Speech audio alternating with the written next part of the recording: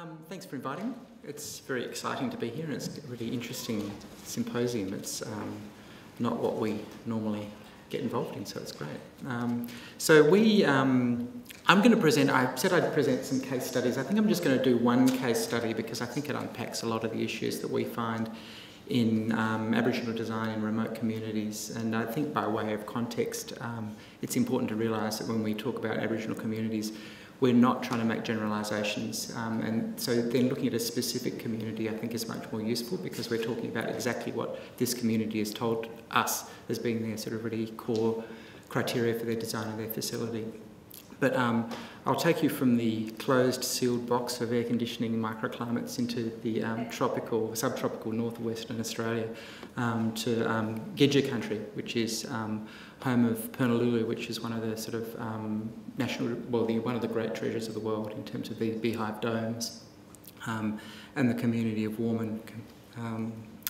so the Kimberley region of Western Australia is, um, is pretty diverse, and I'm going to just talk a little bit about the realms of operation that we work within, and it kind of unpacks one of the conditions of Australia that is probably not represented very much, largely because the population is actually very small.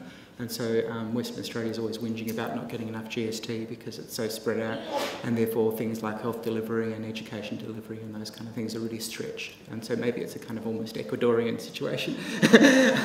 um, so the Kimberley is that little coloured blob in the top right-hand corner of that slide, and there's a diverse language group running through the Kimberley region. Um, there's something like 43 individual Aboriginal languages being spoken in the Kimberley region. The po whole population has about 39,000 people, and the population of Warmun community is about 350. And there's probably around 500 speakers of the Gidja language in that area, maybe maybe five, between five and 600 people. Um, and so this is a picture of the building I want to talk about, which is the Wollumba Elder Centre, and it looks south into the valley of Turkey Creek um, which uh, misbehaved um, in 2011. Um, one of the um, realms of operations that we work in is we like to think about the communities we work with um, really in a lot of detail and talk to people and work with people. So we talk about the distinct na nations and the language groups in the mixed communities. We talk about um, this common commonalities between these communities. So in and this is probably applies to the top half of Australia quite clear. Clearly, it's the common history of colonisation. Um, there's a change in demographics in these communities, so there's actually a missing generation of people who are dying from um, particular health conditions. So, for instance, we have this massive influx of renal disease, which is killing um, Aboriginal men and women um, rapidly at the moment. So, it's quite a hideous scenarios and statistics that you look at. And then there's these traditional cultural practices and traditional law, which comes into our design. And how, do our, how does our normal institutional design of schools, of of um, even a house can be institutional when you're dealing with public housing, um, but hospital facilities, how does, how does that interact with, the, with how people want to live? Um, and then there's this problem of generational institutional poverty, of, of ongoing problems with parents who have alcoholism, whose parents had alcoholism, and how that poverty translates down to the children and the generations of today, which is not really overcome by architecture, but certainly architecture can assist in the decline through bad decision making. Um, and those social consequences, which is really that kind of classic post-colonial sort of event, sort of scenario that we're in, I kind of and I don't know if I'm allowed to do this, but I kind of call it a fourth world community where we have this third world conditions embedded in a first world community, which should be a great shame, you know, and, I mean shame from a perspective of citizens of this country, you know, it's, it's sort of outrageous. And um, the World Health Organisation and others have pointed to Australia as being very sort of poor in its response to Aboriginal people. This is an image of the smoking ceremony of the, um, of the facility, and I've got a little film at the end of this. If we've got time, I'll play some of that.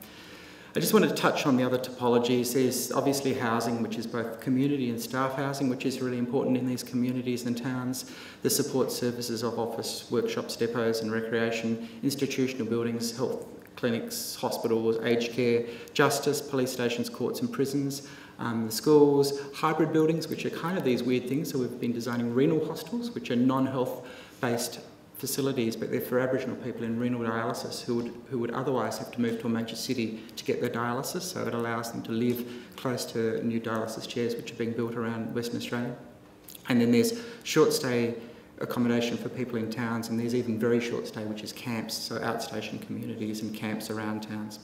Um, that's actually Kununurra Courthouse, which is a very, the court is a very institutional um, facility, and this is actually, we've designed this one with TAG Architects, and the Merrill and Gajerrong people were instrumental in the design of that space and the foyer spaces in the courthouse, for instance, and West Kimberley Regional Prison, which is the world's first culturally sustainable prison, which was whose brief was developed by elders in the West Kimberley uh, PDU, who's a um, a Yawuru man and June Oscar, who's a Bunuba elder, they developed the brief for this facility and then we master planned it and managed to win the um, collaboration with TAG Architects to actually build it and, and complete the construction of the project.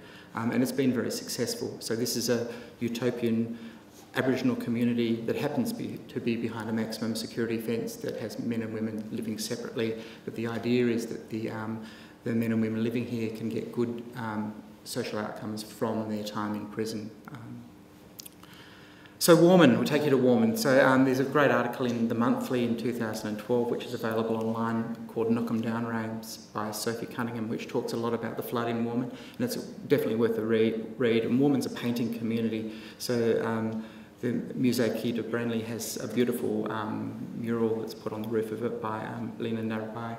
Um, so it's a really strong art-based community. Um, Rover Thomas um, is a very famous Aboriginal, one of the first major Aboriginal painters who came out of, um, actually came out of Well 33 Kunawarritji and ended up in Warmun. And his wife, Queenie Mackenzie, um, lived here. Um, and this is a painting of Queenie of the Great Flood of Texas Downs in 1922 and the ration station on the right hand side from the 50s, uh, telling us that the, the area floods. And lo and behold, in 2011, a catastrophic flood took out the whole of the community. So the whole community went underwater. It was completely wiped out and they had to rebuild the community in about 12 months.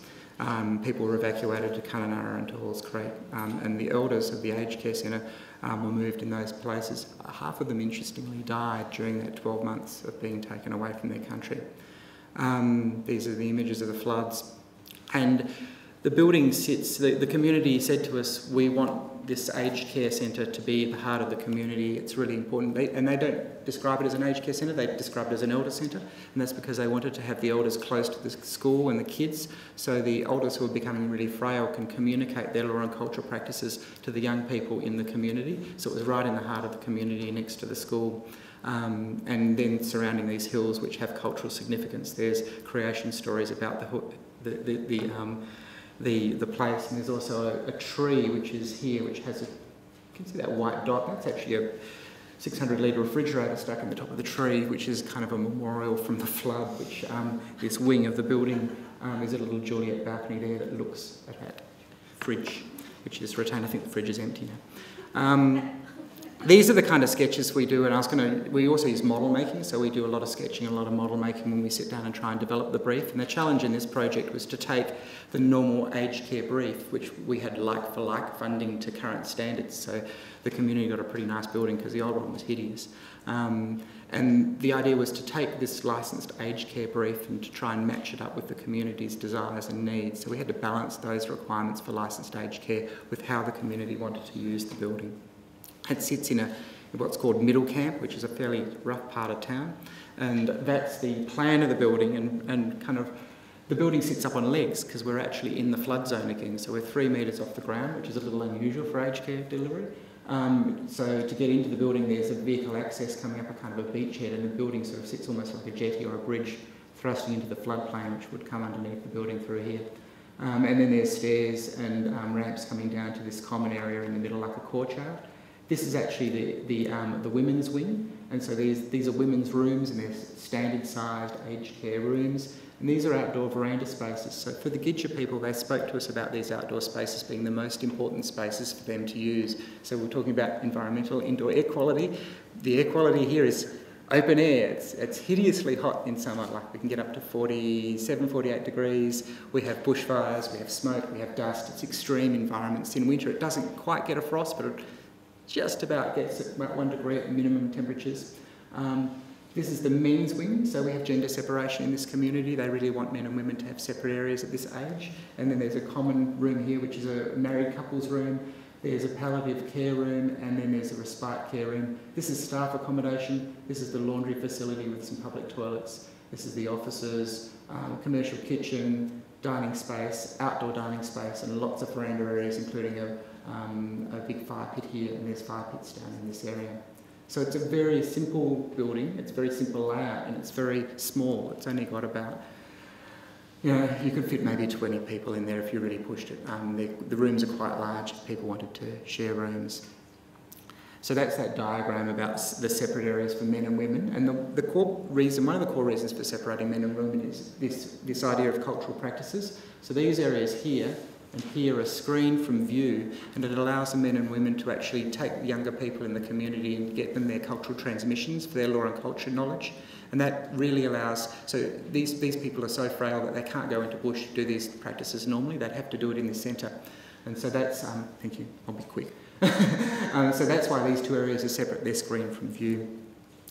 There's this idea of cultural surveillance as well. Aboriginal people, in, in, in, usually across the Kimberley, like to see um, their relations and their, um, their family members moving across the community and through the community. And to a certain degree, that's part of their um, kinship system. So everyone in the community has a skin group, or, a, or, or a, um, and that skin group defines their relationship with everyone in the community. People will be their mother, brother, or they'll have an avoidance relationship. So a son-in-law, mother-in-law relationship. Son-in-laws and mother-in-laws aren't allowed to meet or face each other or talk to each other. So these paths of travel through the facility allow people to have different movements to avoid each other if they need to do that from a cultural perspective. They also allow a respite, so if people are, everyone has their own little balcony, so if they don't want to be in the communal areas, they can have their own little private balcony to get away from pieces, places and people. There's view corridors into the landscape and out between the breezeways, and these are the images of the building. So um, this is the classic nice, pretty architectural images, and then there's the kind of realities of how the building's being used. So the, the kids have well colonised the building. Um, uh, yeah, so um, again, the building kicks up to the landscape and frames views of these hills. This is the beginning of the smoking ceremony where snappy gums are being cut and brought into the, into the building. Um, we've planted in the landscape, we've actually collected bush tucker and, bu and bush plants, including those snappy gums, and grown them around the landscaping so people can actually get the smoking um, plants and, and harvest them around the building. They don't have to go away to do it. The building has to be fenced in. It's an aged care centre and there's quite a lot of humbug, which is when kids come in and they try and steal money or people want to get food and stuff like that. So it has to have a degree of control over it. That's the fireplace. That's the fireplace in action. So we're firing it up to cook some um, kangaroo um, and some barneys, which are racehorse goannas. And so we're just alternating these views of people using the building the building's roofs, actually, we've been naughty and we've kind of undulated them and created a landscape of these box gutters that create kind of rain events during um, big storms, so it kind of almost forms its own landform. There's, there's a quite a well done kangaroo. Um, and this is images of the rain and the kids playing under these beautiful um, these waterfalls that are created. And this notion of bringing the kids to the site very early on, they were saying we want the elders to sit there and see the kids playing around the building. So we articulated that by saying, well, let's just put these box gutters in and create these rain events. And every time it rains, the kids swarm over there and they dance under these waterfalls. This is one of the views from the respite um, care, the palliative care room, so people get a bit of breakaway.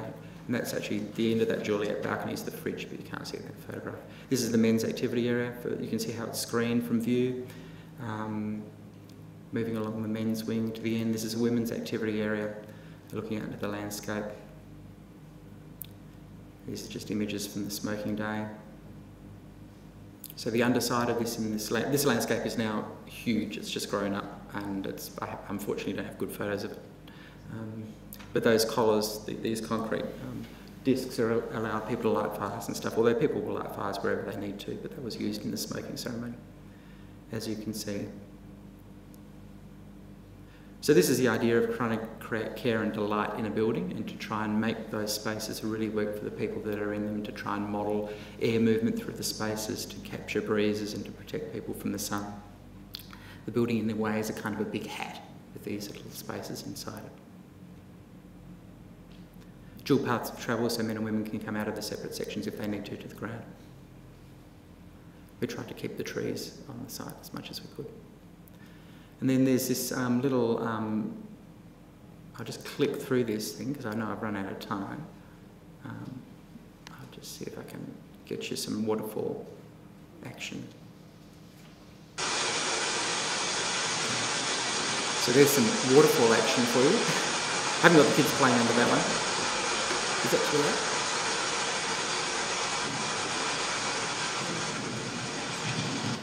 And then I'll just take you, there's a little, I'll just take you to the beginning of the smoking ceremony. So I'm allowed to use these images, I've got permission to show this smoking ceremony, but it's um, really people using the building and, and enjoying it. And for, for the Gidja community, it's really important that the building is smoked. Um, and that smoking ceremony protects people from the bad spirits.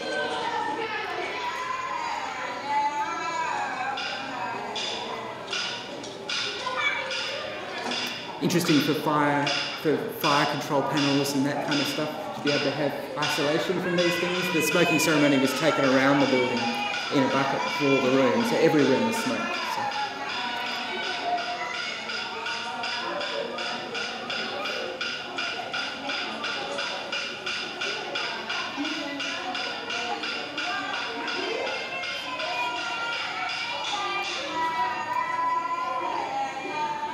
So I can mute that mic and then, with due respect to the elders, I'll mute it. Mute it. Hmm, maybe I'll mute it here. No?